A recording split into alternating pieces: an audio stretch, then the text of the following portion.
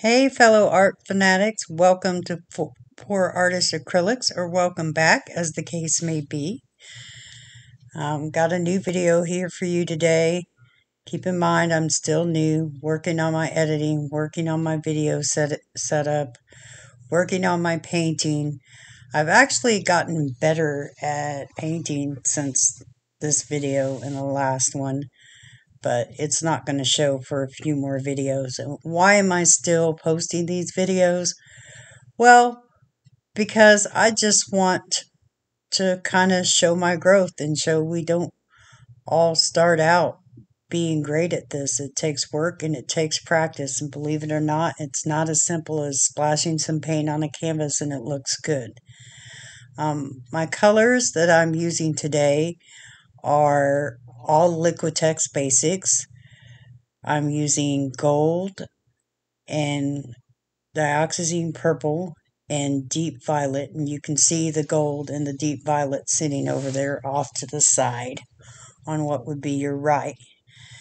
Right now I'm just making sure my canvas is level. You saw me put pins in the back of it to keep it up off my surface and then I will be putting the background on. Oh, I'm also using titanium white.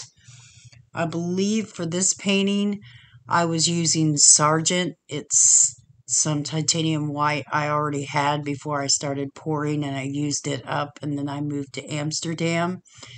And you can see that I'm painting over a previously poured canvas. Um, I just didn't like the pattern on that canvas. I loved the colors, but I didn't like the pattern at all. So I decided to pour over it. And I'm going to end up pouring over it again. Full disclosure, um, you will see a painting at the very end of this that is the final product. You will not see the process of that final product. Um, I'm not exactly sure why I record these videos way in advance so I can get a good stock of videos and have time to go through the editing and get them put up on a regular basis. But um, I think that my camera might have died during the recording and all I've really got is a close up of the canvas, which I did with my phone. Sometimes I do the videos with my phone, but at the time of this video, one of my phones was out of commission. So here I'm layering my colors, um, put some white on the bottom, then it looks like dioxazine purple. I'm just kind of going back and forth between the purple and the gold and the uh, deep violet. And I am not sure why I have, looks like I have two cups of gold there. I don't remember that. But anyway. So I think the reason why this one didn't turn out the way I liked is I think I just used, I'm pretty sure I used too much paint. But I was at that stage where better too much than too little. And I still use a little more paint than necessary just to make sure I have good coverage. But I had also, this was probably the third or fourth canvas I'd tried. And prior to this, I was trying spreading my base with a spatula rather than tilting. And I don't know if I'll ever go back to spreading my base like that again because I just don't seem to get good even coverage when I do that. And when I tilt it, I don't seem to have any problems. I was trying to get some negative space on one of them and I got negative space all right, but some of it was bare canvas, so it was kind of crazy. And as you can see, my flip wasn't very good, and that's part of the problem too. If you see how the paint came up before the came out before the cup even hit the canvas and it's already blending and muddying a little bit there. So I kind of started off on the wrong foot to begin with. And I've gotten better at that too. And I now realize you can flip the cup or canvas uh, on blah. canvas over onto the cup even after you've put your base coat down. But my thought was I've got a base coat on there, so I better not do it that way. I still don't usually do it that way if I've got my base coat down, but I've gotten a lot better at flipping the cup quick enough so that half the paint doesn't come out before it even hits the canvas. And so, yeah, I'm getting ready to let it go. And unfortunately, my camera angle is not very good, so you can't see part of it. I've actually ordered some equipment so I can get my ca camera mounted directly above my work area to give you guys a better angle.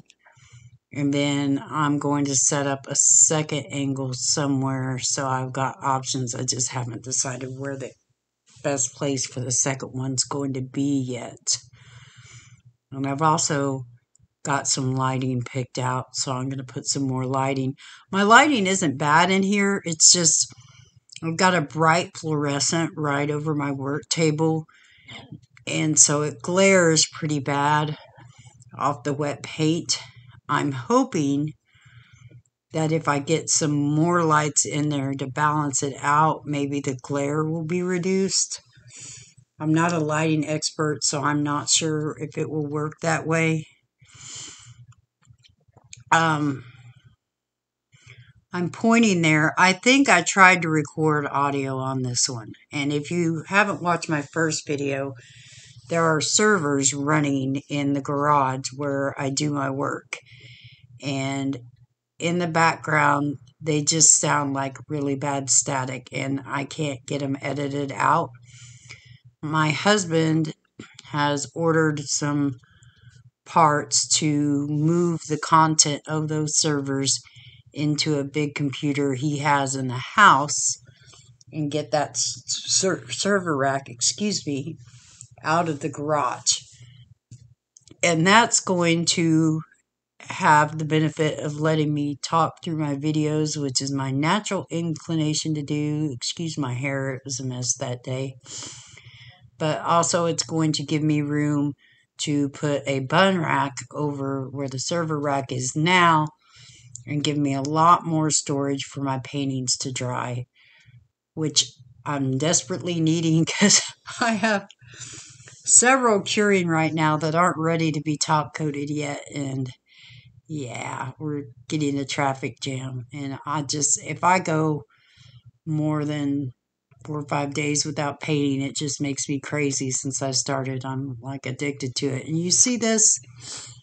The colors are real muddied together and you almost can't see the white. The dioxazine purple is blending with the deep violet and you can barely tell it's there. And it just looks like a big muddy mess. So I am going to fast forward this part for you just to kind of shorten this video up to um, make it go quicker since it didn't turn out that well anyway. So here I'm finishing it up and possibly kind of showing you how it looks. And I mean, it looks kind of cool. There are some people who might love that and might keep that. But that wasn't at all what I was going for. I wanted my colors to be more distinct. I wanted them, there to be more composition to it. I didn't want there to be just lines going every which way. And of course, there's those squiggly lines over towards the right. So none of that was really my goal. And I'm going to fast forward this part again so that we can get to the part that I want to show you, which is the final end product that I really did like. So bear with me. This is more what I was going for. You can see how the colors are more distinct. The white does blend in places, but in some places it stands out. The gold, the dioxazine purple, the deep violet, even in places, stand out. Um, the lines are more distinct. There's some really pretty cells in there. And that's just more what I had in mind. So, anyway, thank you for hanging with me and watching my video.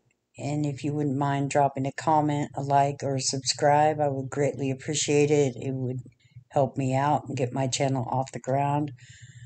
I am confident over time the videos will get better. My narration will get better to a certain degree. And um, the reason I'm pretty confident in that is because my painting is already getting better, and I've come out with some really cool looking pieces, especially over the last two weekends. So I'm pretty excited about that. In any case, thank you very much for your time, and I hope you visit again. Have a wonderful day.